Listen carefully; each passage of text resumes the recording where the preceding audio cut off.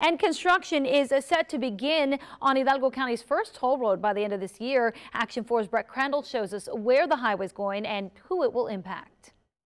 Marcy, this is the Hidalgo County floodway. Right now, there's really not much out here, but by the end of 2018, a 13 mile stretch toll road will be running alongside of it.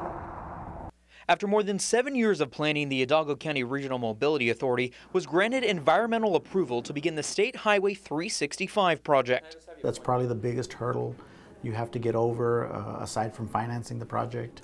Um, it, it's a major milestone for the authority. There will be tolls, but no stops. There won't be any um, toll booths to stop or pay. You know, you'll either use a, a toll tag or we'll read your license plate and send you a bill. The $242 million project will be paid for with vehicle registration fees, TxDOT grant money, and tolls.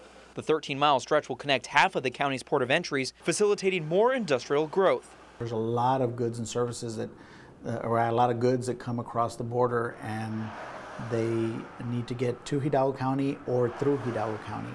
And right now our mobility is limited to in the east-west direction to Interstate 2. It's all part of a bigger project to create a 230 mile loop around the county. If we stay on the current track, uh, progressing the way we are, we could get it done in 25 years. Construction bids are slated to open next month with plans for dirt to be turned over by the end of the year. In Hidalgo County, Brett Crandall, Action 4 News.